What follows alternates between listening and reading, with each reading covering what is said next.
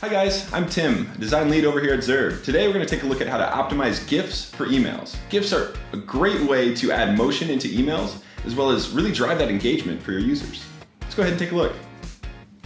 Today we'll be taking a look at how to create an awesome GIF with a nice actionable call to action, uh, an animated play button that will have a nice glow uh, emanating from that uh, sitting on top of a, a still there. So we use this all the time in our emails. Uh, we've actually seen an increase in engagement uh, by 100% uh, with with a nice animated uh, GIF used instead of just a, a still image uh, with that play button here. So a couple things you'll need to follow along. You'll need, first of all, an image. So what we have here is a nice uh, you know, picture of Rafi here. Amazing, amazing guy. Um, so the size, you know, this is pretty, you know, big, but you know whatever image you can grab, that's fine. Uh, also, some type of, of movie file that, that is transparent, has an alpha in the background. Uh, you'll kind of see this. Um, you know, it's it looks a little rough there.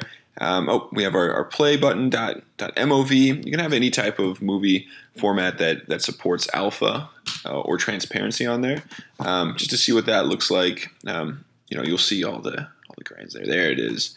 Um, so this is actually transparent and has lots of uh, levels of transparency there. QuickTime just kind of renders it a little bit differently.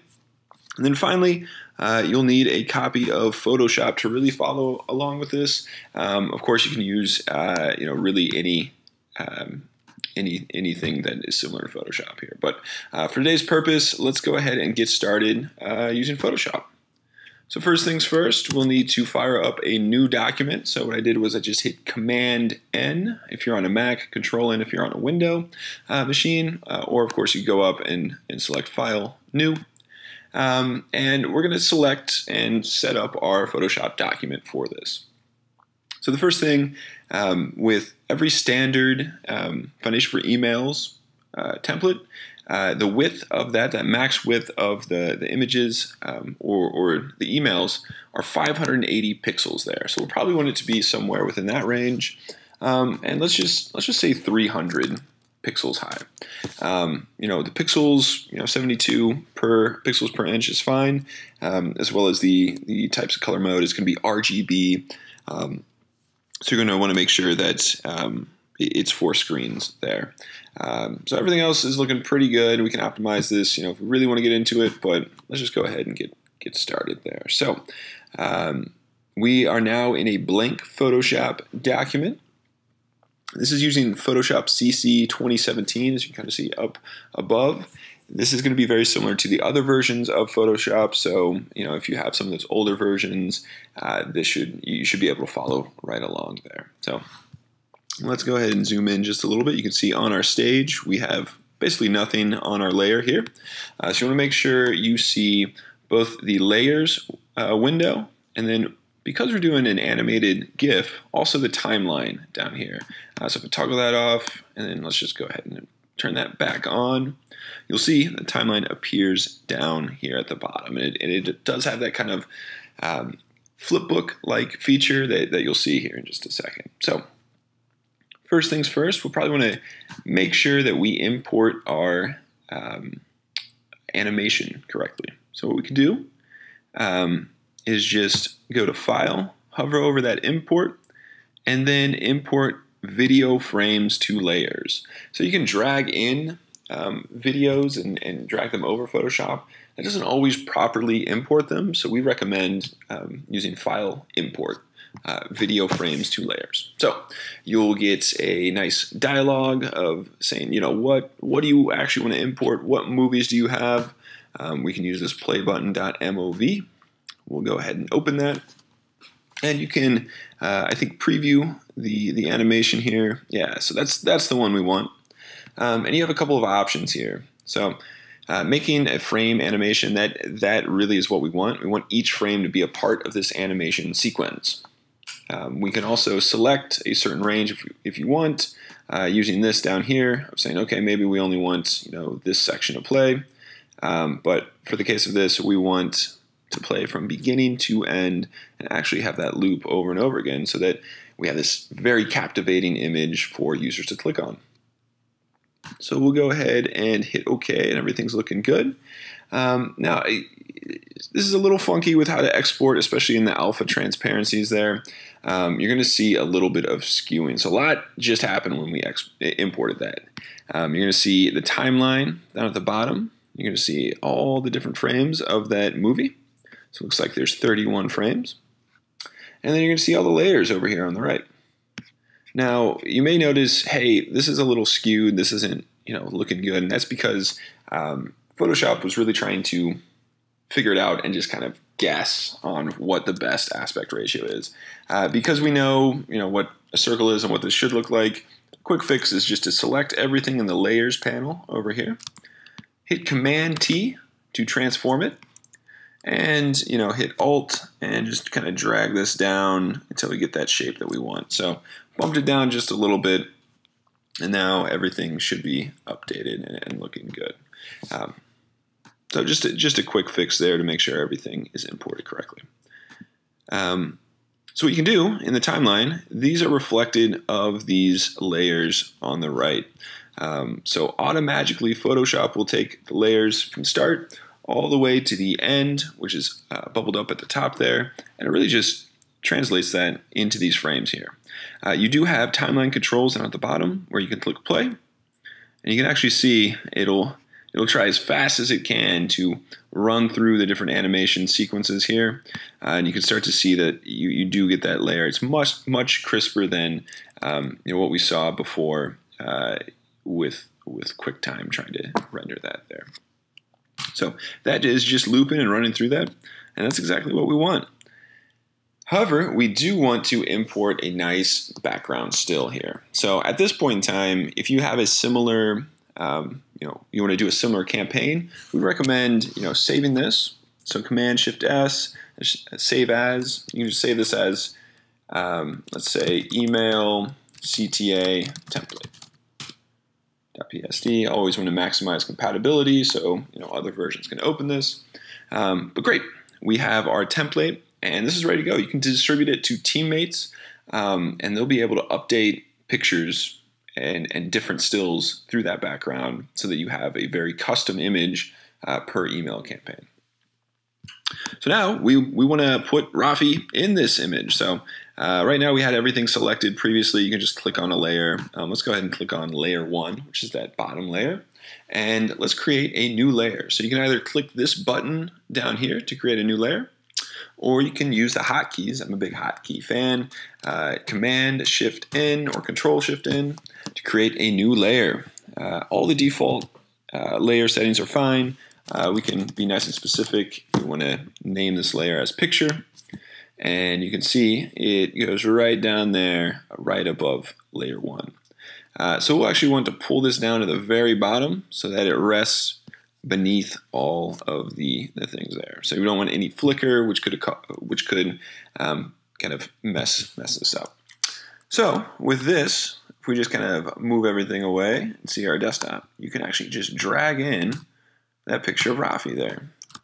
So we're able to drag in, we have that bottom layer selected, just drag it right onto the stage, and it's getting ready to load in there. Um, so we probably want to make sure this is nice and um, you know fill on the stage. Maybe we can adjust it just a little bit um, so you can see him there, and hit enter. And now that is placed. We have officially placed this image on this bottom layer. Photoshop knows that this is a new layer that we want to keep down there. It's not part of this animation sequence that we had already established, so it's just always going to show by default. And you can clearly see it reflected in the timeline down here. So this is each of the state, think of like a flip book moving through this. So you can see uh, Rafi is uh, there the whole time. If we play this, you can see as slow as it's moving, um, you know, you have that picture there, and he is He's there the whole time. So that's exactly what we want. Um, so now we want to export it. So it's really simple to do that. Um, just make sure that you you make that new layer. Uh, nothing is really no, no, other layer is selected there, um, and that will, will prevent any other headaches that, that you may have there. So um, the next step is to uh, save for web, um, which is let's see, I think they have the export now. Uh, save for web. It's Alt Shift Command S, or as some refer to it as the claw. Just go ahead and click on that, or use the hotkeys there.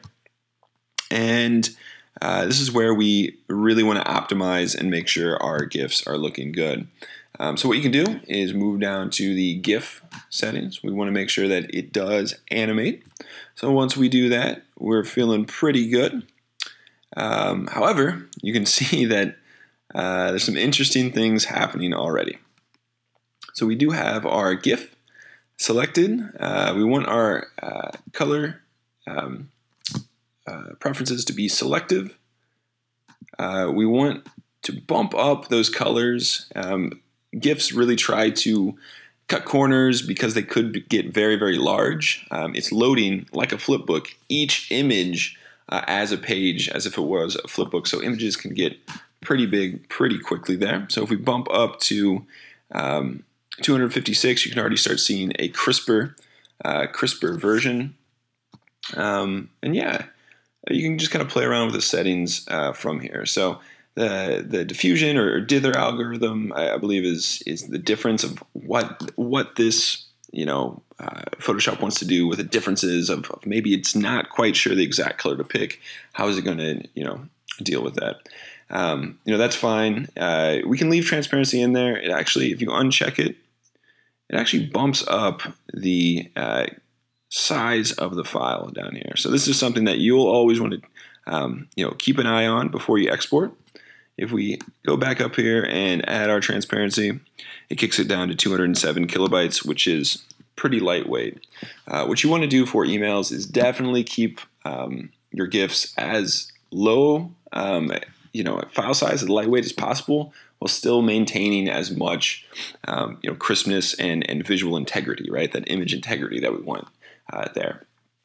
Um, so definitely recommend you try to capture all the colors that you possibly can. Uh, keep the lossy or, or kind of um, the amount of, of guessing or compression down to zero. We want it to be as accurate as possible. As we bump this up, um, you know, it'll save file size, but you won't have really as good of, of an image to to click on. And really, we want we want our users to look, see this crisp image, and really, excuse me, engage and click on this. We do want our width to be 580 pixels wide because that is the, the max width of that um, uh, uh, email template there. We could double it up and really optimize for Retina. Um, just you know through here, we could increase the percentage by 200%. Hit tab and you'll see it try to think and um, you know, figure out all the different things. And yeah, already bumping it up. You can see we're at about half half a megabyte there.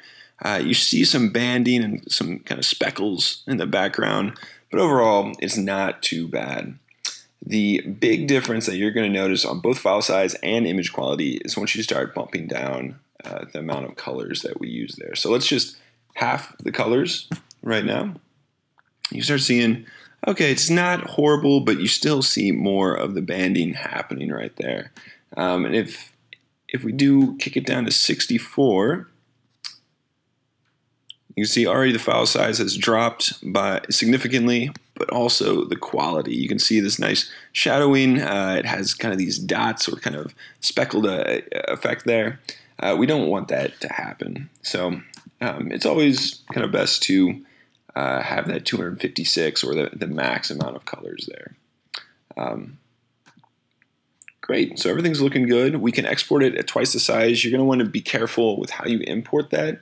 Um, just moving forward. Uh, so actually, we'll we'll dial it back down to 100% just in case.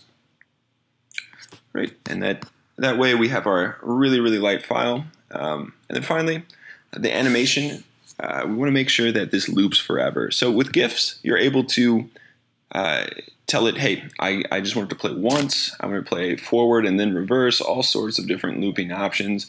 Uh, we'll, we'll want to just do it forever, right? Test it out. Um, it will go through and load very slowly, you know, what this looks like. It's trying really hard. It's loading all these different images um, at, at, you know, real size before it exports this. So um, this isn't the exact speed that's going to happen there. You hit stop. Um, you can see that we're at 39 seconds at um, 56.6 kilobytes per second. This is not the length of the actual animation. This is how long the image will take to download at 56 kilobytes a second. So if you're really interested on it, um, you know maybe we have super fast internet. This takes two seconds to load. So um, you know, very very lightweight, and this is where when we're thinking about email, there's a lot of, of engagement on mobile. So I want to make it as lightweight as possible. So everything's looking good. We'll go ahead and click save. We'll make sure it's on our desktop and we'll say, you know, this is, let's just call it click Rafi dot gif. Just hit enter uh, and then that's exported there. And we have our image ready to go. So we double click on it and open it. Um, preview wants to go step by step on this. Uh, let's see.